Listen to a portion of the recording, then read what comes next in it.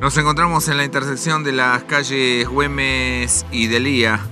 Estamos en presencia de un pozo de grandes dimensiones aquí en este lugar que eh, había sido cubierta por unas tablas pintadas de roja y blanco. Lamentablemente estas fueron derribadas durante la noche debido a que alguien no las vio.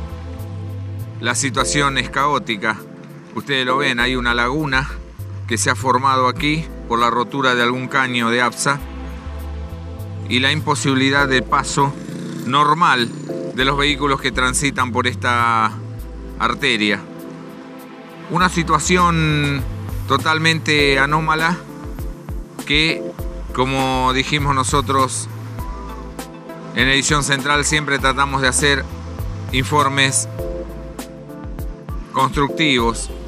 No lo hacemos para buscar audiencia ni nada por el estilo, sino para alertar a los vecinos que transitan por este lugar a que lo hagan con muchísima precaución debido a que el lugar es muy peligroso. El pozo no se ve por la cantidad de agua, pero prácticamente tiene una dimensión de un metro de diámetro. Es profundo, está lleno de agua, mal señalizado.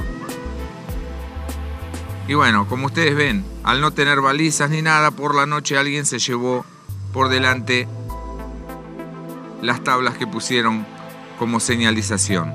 Repetimos entonces, circular con muchísima precaución y también aquellos que deban solucionar este problema, hacerlo. Es la esquina de la calle Maestro de Lía y Güemes, San Miguel.